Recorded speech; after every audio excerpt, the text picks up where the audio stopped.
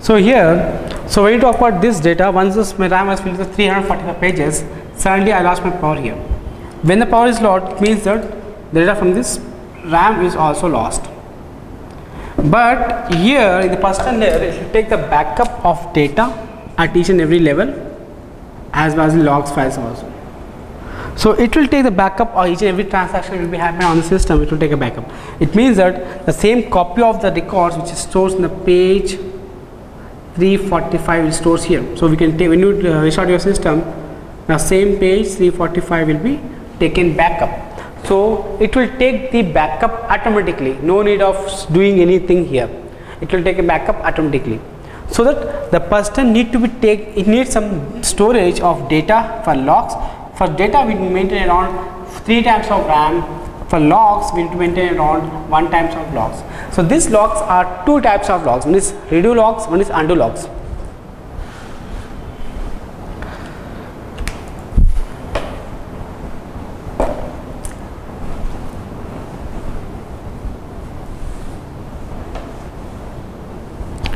So we'll discuss about this persistent layer which we have two logs.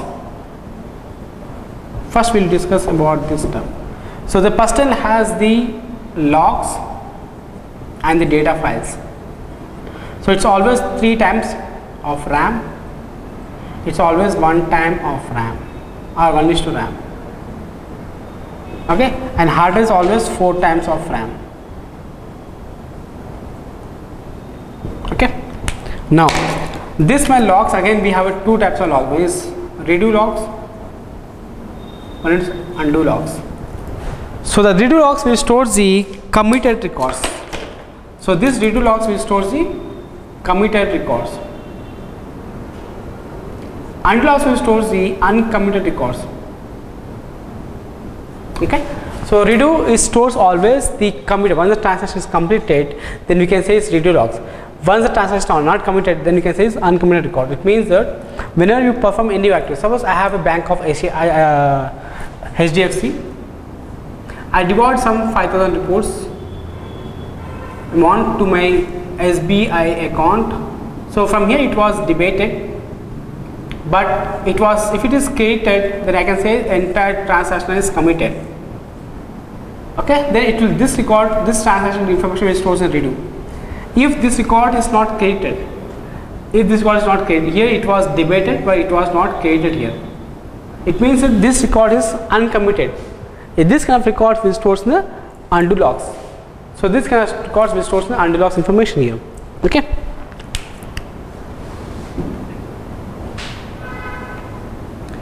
So in order to hold this logs information, we have to use this redo logs information and undo logs information. So these two logs information which can have the all the different kinds of we call as simply a log segment. It will create all the log buffer which combine and becomes the log segment.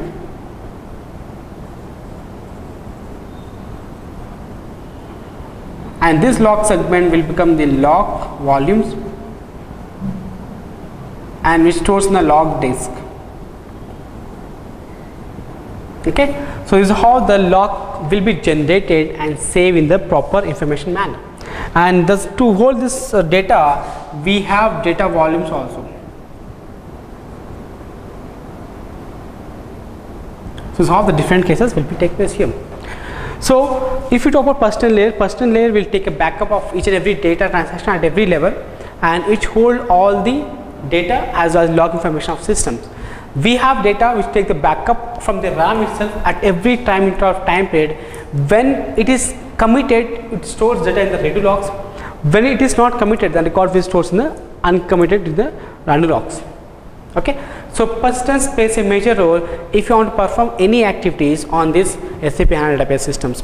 So, between this one, no single record will be lost on this SAP HANA database. Okay.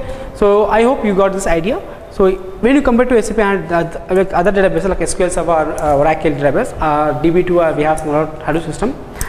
So, here SAP HANA, the record will stores in the RAM, which is of in-memory concept, which increase the more speed and the performance as well as the, the greater high speed internet uh, activities will be done here. So, here you talk about this RAM, HANA the record always restores maximum record restores put in the memory to increase the more speed for to access the data fast. So here whenever you do any transaction on the RAM, so from here it will read the data and if you want to read the data, it will read data from hard drive to the same RAM. So RAM hold all the OLTP and OLAP transactional information. So this help you out to perform any activities on those scenarios.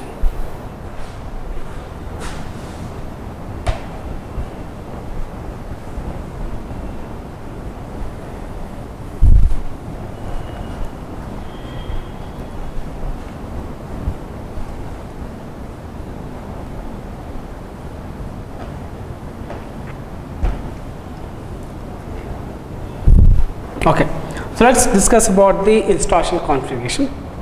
So i can install my hana studio. This supports windows and linux environment. It should have the client which we acting as the odbc drivers. Okay and it will be connected to hana server.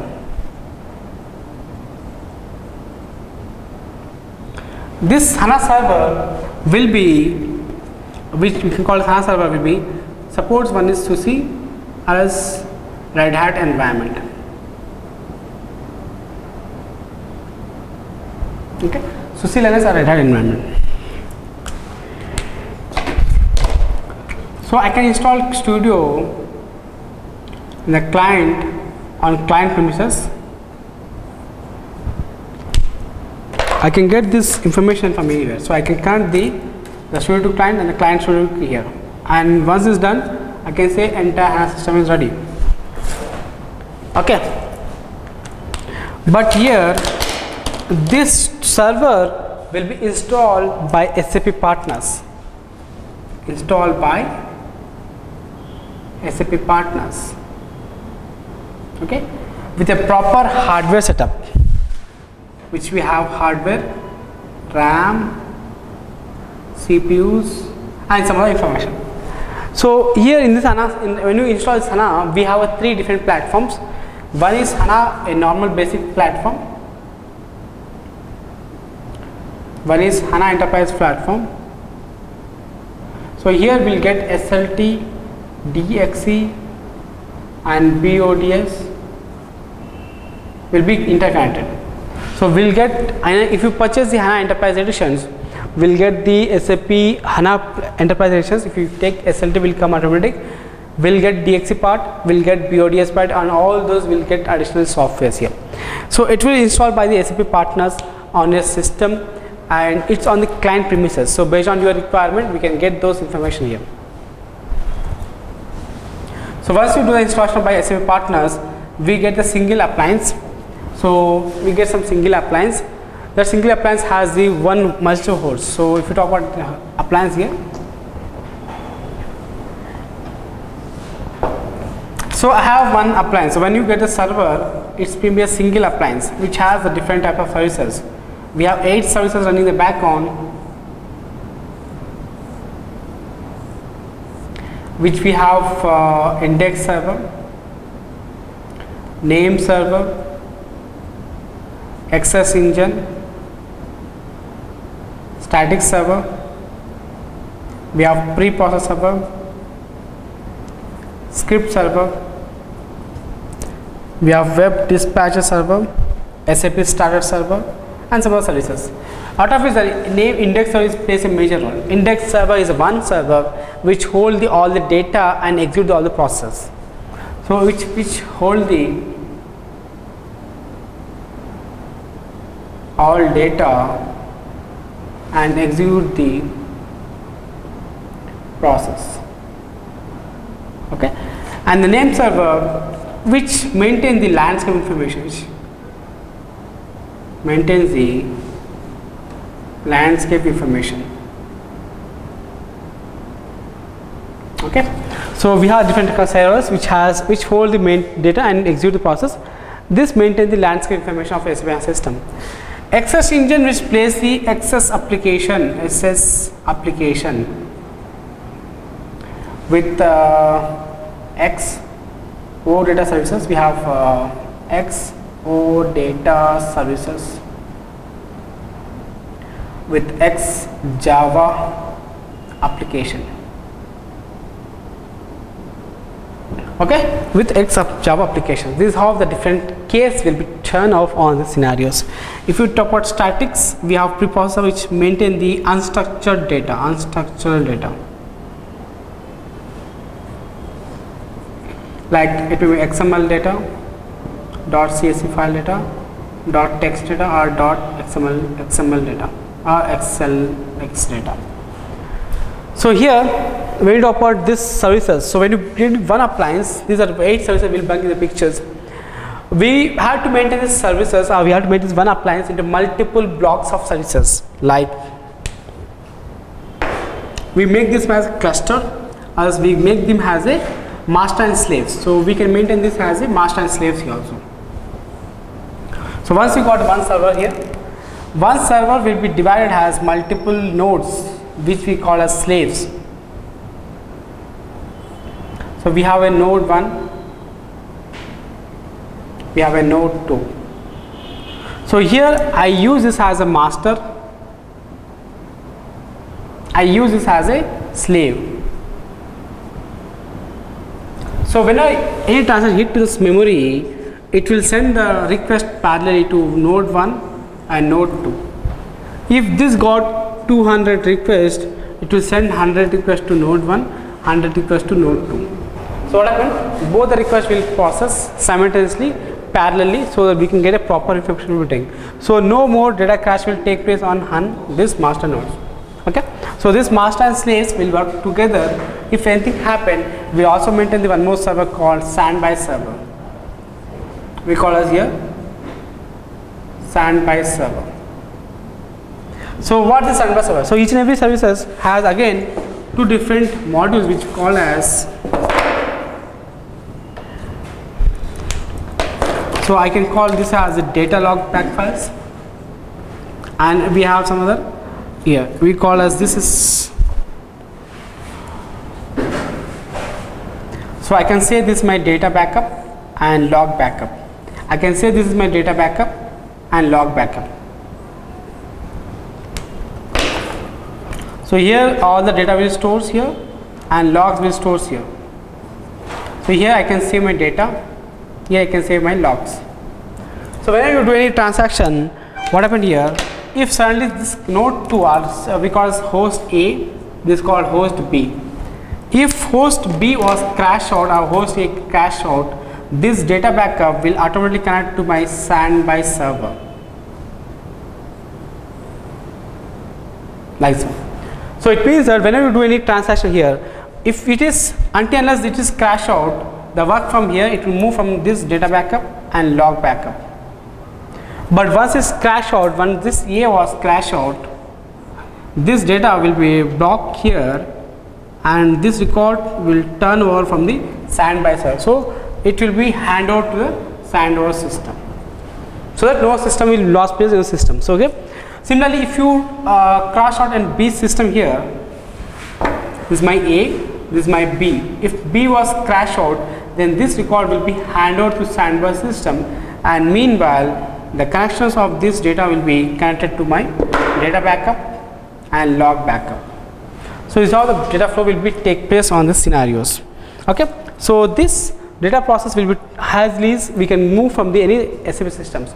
So, we call my appliance one appliance I'll maintain this as a mustable node 1 node 2 and standby server. We can maintain our system. So we call master and this two called slaves and it is one standby server. So in this master I can run index server name server XS engine other stuff. But these two nodes will run only the index server and name server. Index server and name server okay why? Because index server to hold the data for this for to hold the data we use this index server name server to maintain the landscape information. So i use all this landscape information. Which stores all the info of the systems. So here whenever you do any transaction suppose i hit a transaction of 200 request it send a parallel of 100 here 100 here. And these two are correlated information here. So when i get my main data here this data center will connect to my data and log center will connect to my log information files. So this is i call as data center. This i call as log centers. Okay? So whenever so this will do always synchronized format and this always synchronized format. So whenever you perform any activities here if suddenly this was crash out and meanwhile this record will store in this data file and from here the record will be synchronized format here. Always be synchronized format so we have two types of synchronization one is synchronized and asynchronized. So here it will always perform this synchronized. Sometimes if it is crashed out in this case it will do asynchronized process. Will take place here. So is this how the appliance of SAP HANA system will be take place? On a real time basis. So let's see some other concept on this SAP HANA systems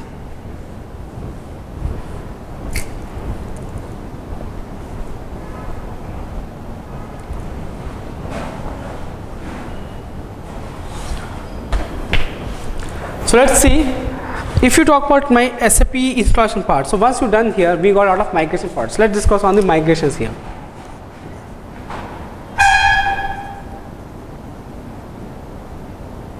So how we can do migrations on SAP HANA. So like see, I have different databases. Server. I do have Oracle database. I do have SAP ECC. I do have SAP BW or some other flat files and load into my HANA system. Okay. So this will so we have two different cases. One is SLT we can use. We can use for one is DXC. We can use one is BODS. So DXC SLT. So here non-SAP systems will support directly SLT and SLT will directly connect to system. And ECC for ECC we need the RFC connection, remote function call connection which connect to SLT and it's connect here. And B, for BW we connect DXC, DXC will connect to my system. And BOD is a ETL tool which supports all this system connect my BODS and through BODS I can connect my SAP HANA database. So this is how the connection will take place here. So this is how the different cases. So here if you talk about this SLT, this is called as my real-time replication data. So it's real-time replication data. If you talk about this uh, it's called as only schedule-based data uploading.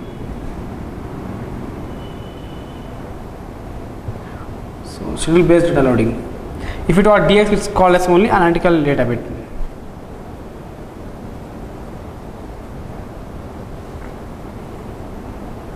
Okay, this is how that take place.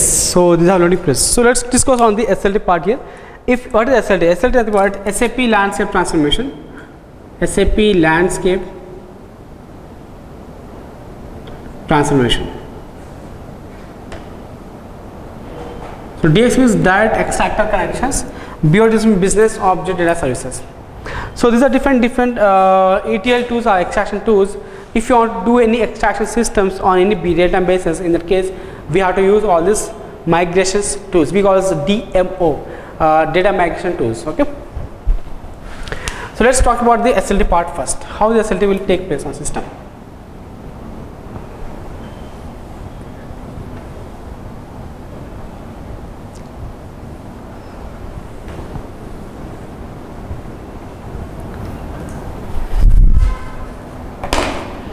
So let's discuss on the SLT part. Nothing but SAP landscape transformation.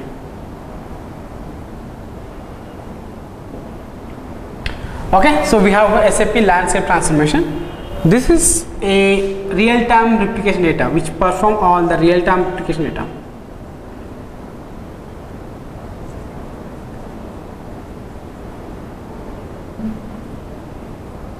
Okay which gets the data into real-time formats so here for this we call as trigger based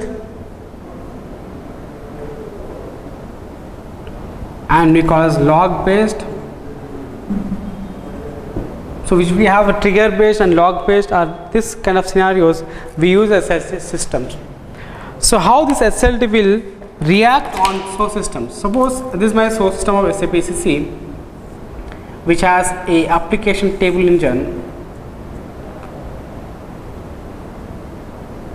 SAP ECC. We use the SLT concept here. In SLT we also have my HANA database here. So SLT is the add-on software may be installed on Solman or SAP Solution Manager. It may be uh, Solman, it may be SAP ECC, it may be SAP CRM, any source systems here. So here we have one more layer called DB trigger. Here we have one more layer called logger file.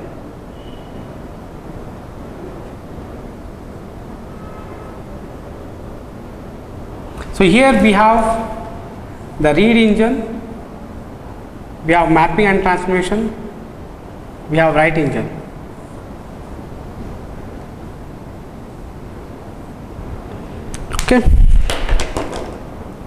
so here it is called as trigger table which we call as uh, SAP HANA the record will stores in a schema. This is my SLT part. We here it is called read engine which we have mapping and transformation. We'll do write engine then the application will read data from the db trigger. It will send the record to logger file. Logger file will do to read engine from it will do mapping then transformation to write and write will do to the HANA system. So all the SLT process will take place here. So, in this SLT process, the what are the main things we face? Here, if you perform any, uh, we get this activity using the uh, we call as uh, data provisioning option. Under data provisioning option, we may get the first option called log option, sorry, load option.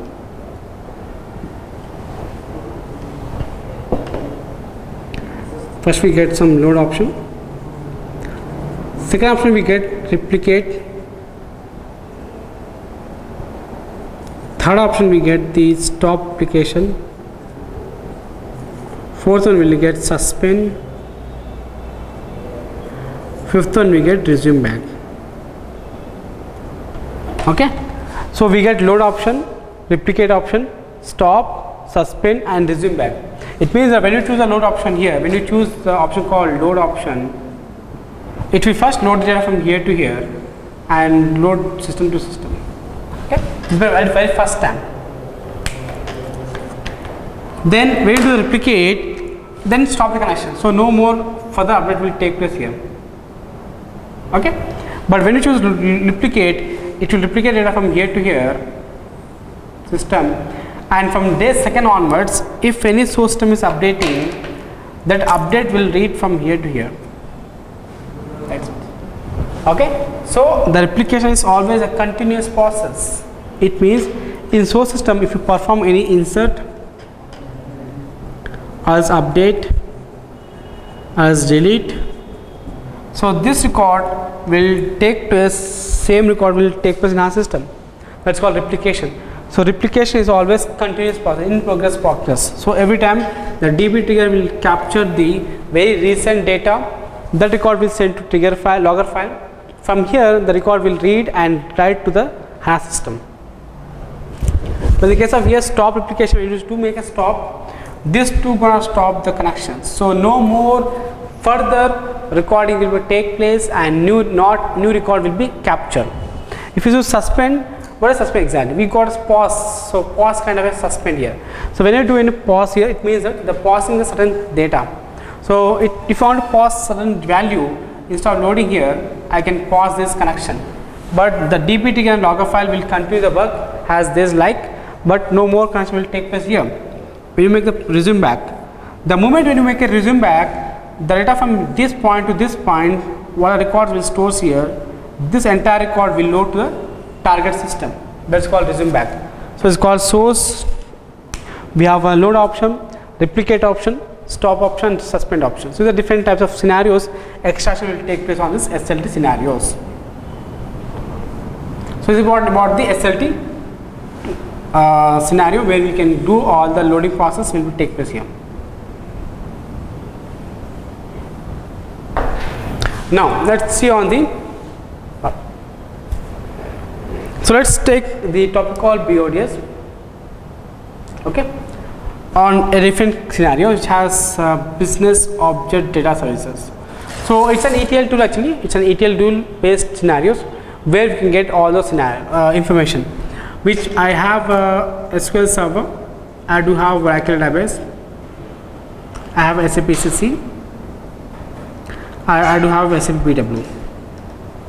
So I need to load all these different databases into my SAP HANA system.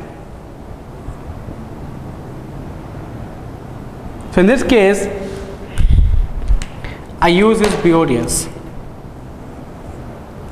So BODS will directly connect to systems so here the BOS is behave like an ETL tool which perform extraction, which do the transformation and load it to target. So getting data from the source system, loading to target and uh, the word, applying the changes to source system.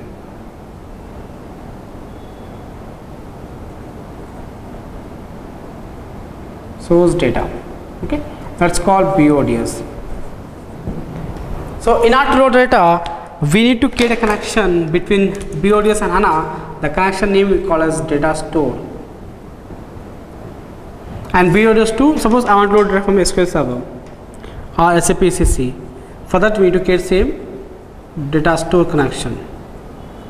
Then we need to bring the table from SAP HANA to BODS, BODS to HANA we load. So entire process will be a job process. We need to schedule them. We call as batch job. That need to be executed.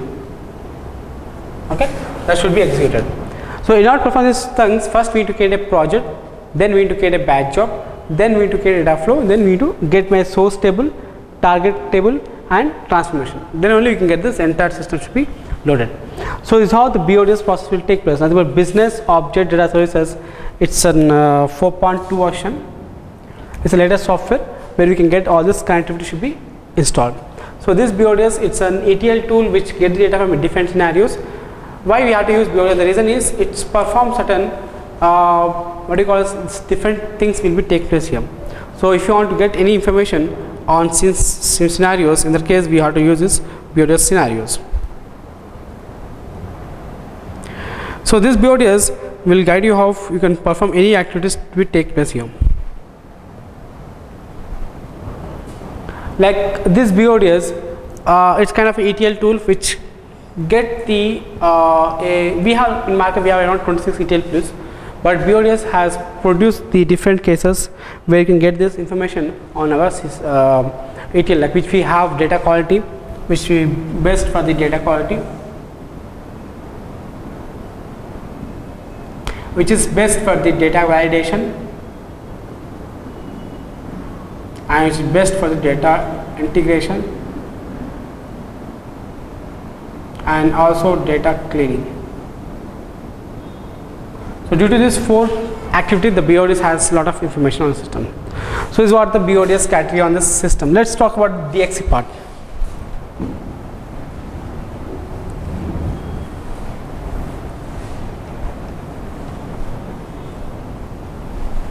So when you talk about DXC because data migration tools, nothing but direct extractor here.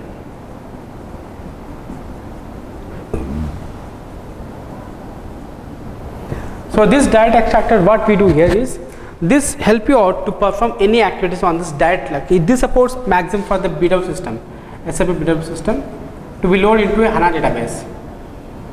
In HANA in BW the record always stores in the InfoCube format as well as DSO format as well as info format. So when you load this data into HANA system, it will convert as the one is analytical view, one is calculation. If you load DSO, it will convert as the only analytical view.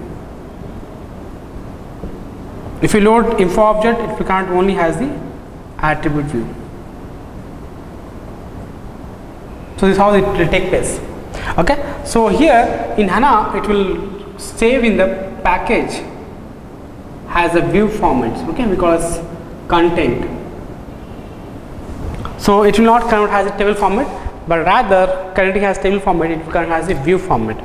So this SAP BW will have a lot of informations which a InfoCube is a combination of multiple tables and DS also combination of multiple tables and InfoCube shows the uh, summarized data.